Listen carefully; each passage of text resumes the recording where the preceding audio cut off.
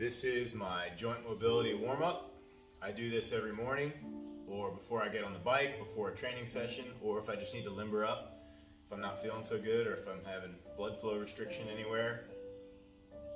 Uh, it's great for joint mobility, joint integrity, and just increasing blood flow across all the major joints before you do any significant movement. So I like to do it as often as I can. So remember to breathe throughout the process and just follow along. Starts with the head and works your way down to the ankles. So for the first movement, it's ears to shoulder, side to side, and don't forget to breathe. Inhale through the nose, exhale through the mouth. We go for about five to seven repetitions to each side. Doesn't matter too much. You can do as many as 10 or 12, depending on how much time you have. Then we go chin to chest. And remember, each of these movements, you want to kind of pull it as best you can with the muscles that you have to the extreme. And if you want to add a little, you can with your hand. Next one's over the shoulder, looking over the shoulder.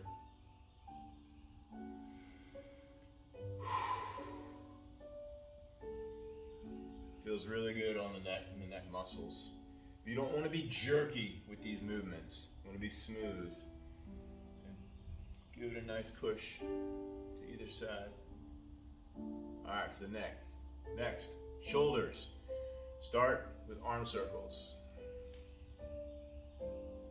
Nice small ones. We're gonna do a lot with the shoulders. You'll get to the point where you're ready to put your arms down. A little bit bigger.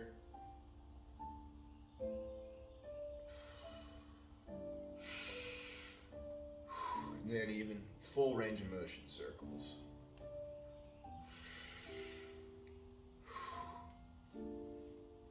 Now we're going to just change that direction. A little bit smaller. And then real tiny. Across the chest.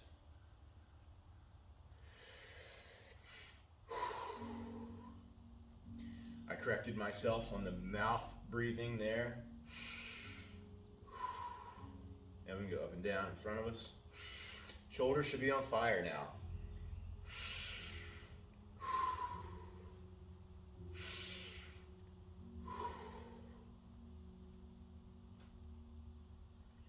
Okay, now we're gonna move down to hips.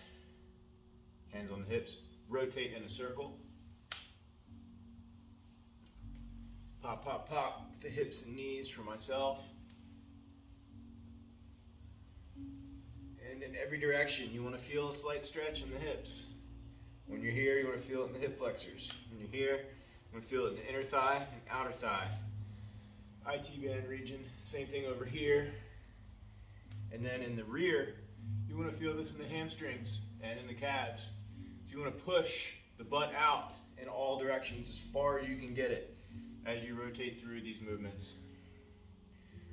Change the direction if you haven't already.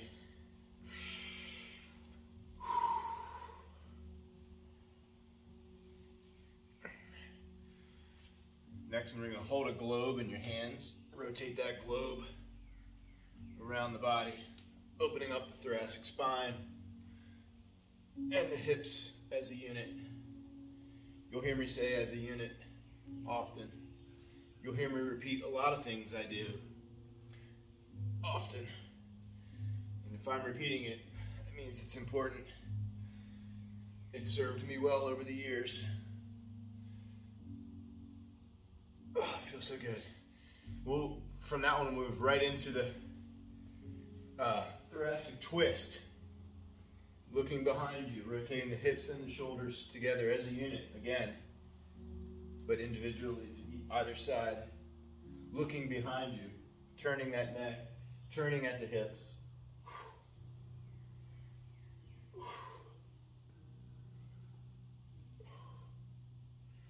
All right, lift one leg in the air, balance work, squeeze the stomach, and rotate the hips. As far as you can, should feel a nice stretch through the hip region. Five in that direction, then you come to the inside. It's easy to fall off balance on these. Grip the floor with your toes. By the way, do these barefoot or with socks on. If you're wearing a big running shoe, it'd be even harder to balance. I don't recommend any running shoes. Finding a flat-soled shoe for most training or barefoot training as best you can. Other leg. Obviously, you got to walk in something. Try to find a good barefoot shoe. I can recommend those. Send me a text about it or bug me on email or whatever. Come to the inside. Every single time, clenching the stomach for balance. Clench the stomach for balance. See, I fell off balance right there. Good example. I wasn't clenching my stomach, I was talking. Feet, feet together, knees together. Rotate the knees in a circle. And you want to push as far as you can so that you actually can feel it, the stretch in your ankles. Pop, pop, pop.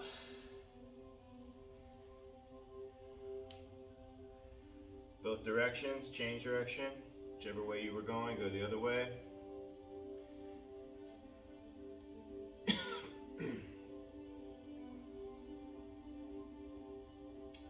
Last one, you're going to trace the ground, trace the outside of your foot on the ground, rotating. You can feel this stretch in your foot. It feels really nice. I've been doing these for a decade. Knock on wood. Haven't had really hardly any injuries, a few minor tweaks from time to time when I don't warm up. As you get older, this warm up becomes more and more important through the years. Other leg, other foot. Warm up longer than you think you need to before you lift anything heavy or get into any sort of intensity training. Slow warm-ups. You'll thank yourself later.